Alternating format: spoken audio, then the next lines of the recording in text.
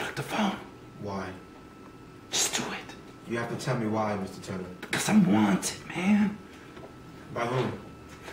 You ask so many fucking questions, the FBI. They have they have these chips inside the televisions and in the phone. Okay? They use that to track us. To track us. Okay, I didn't want to admit this, but on my way in here, I seen them. I seen them and I heard them.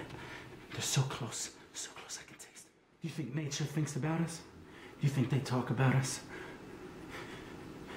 The trees, the flowers, do you think they talk about us when, when somebody's in the alleyway getting raped or when a kid is getting kidnapped? Do you think the walls?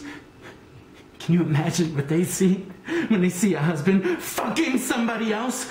Right? Or, or when he's masturbating into his penis scabs? Do you think, do you think that they crumble because of the pain that they feel? Yeah. Or nature, do you think the leaves? Do you think the leaves fall because of the pain that they feel, not because of the seasons? These are brilliant questions. You have a beautiful mind. A beautiful mind, Mr. Then why do they think I'm crazy? Because they don't understand you. Usually we're afraid of things that we don't understand or things we're too lazy to figure out. Are you afraid of me, Doctor? No, not at all. You should be.